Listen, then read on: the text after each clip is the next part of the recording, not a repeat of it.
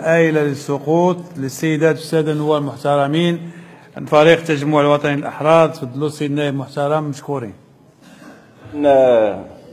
سيد الرئيس السادة الوزراء سيدات والسادة النواب سيد الوزير بعد سقوط الأمطار خير. بعد الشتاء كتخرج الشمس.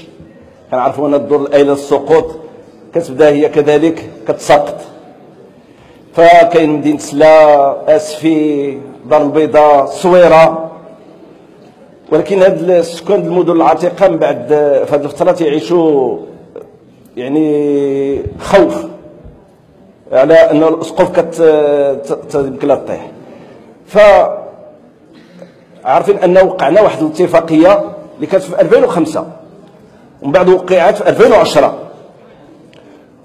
إعادة التوقيع ديالها في 2014 وتوقعت أمام آه، أنظار جلالة الملك. لموجبها أنه هناك ميزانية رصدت إلى الدور الآيلة للسقوط لمدينة سالا وكذلك مدينة الصويره هذه الميزانية بموجبها كاين 45 مليون آه، ديال الدرهم أي 4 مليار ونص لإعادة إصلاح الدور الآيلة للسقوط. ما يقارب 5 مليون سنتيم لكل منزل. بغينا نعرفوا هذه الاتفاقية فين وصلت وهذه الإصلاحات وقتاش غتبدأ وشكرا. شكرا سيد النائب المحترم. تفضلوا سيد الوزير مشكورين. شكرا لكم سيد النائب المحترم. الاتفاقية اللي كتكلموا عليها هذا الصباح فقط كنت في نقاش مع السيد ولا البارح بقيتش مذكر نقاش مع السيد العمدة ديال المدينة. على أساس أنه بعد المجهودات اللي قمت بها واللي قمنا بها بشكل مشترك من أجل استئناف الأمر أن تتم معالجة هذا الدور الأيلة للسقوط وأن نمر إلى التنفيذ في القريب العاجل. شكرا سيد الوزير. سيد أي محترم تعقيب في بعض ثواني.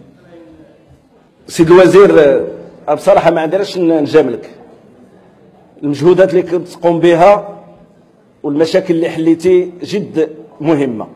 ولكن تيبقى هذا الإشكال انه هذا الملف عند العمران خص تسريع بإصلاح هذا الدور لأن كل شهر كيدوز إلا والخطر مطروح على هذه الساكنة. هناك كذلك ترحيل بعض السكان 900 عائلة. آه، الفنادق والدور العائلة للسقوط حتى هي كاين فلوسها كاين المنازل خاص غير التسريع بالإجراءات الضرورية وشكرا. شكرا. كلمة لكم سيد الوزير تفضلوا. لمعالجة هذه الظاهرة ولتجاوز عدد من الإشكاليات المرتبطة بالاختصاص بالمهارات بالمقاربة السليمة من أجل ذلك تعلمون أننا صدقنا على نص قانوني الذي يعالج إشكالية الأيل السقوط ويحدث آلية جديدة اللي غتكون عندها الخبرة الكافية في هذا المجال من أجل تسريع كافة البرامج.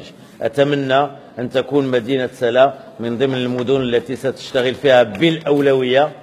فهذه الوكالة الجديدة. والدار البيضاء هي. شكرا. شكرا.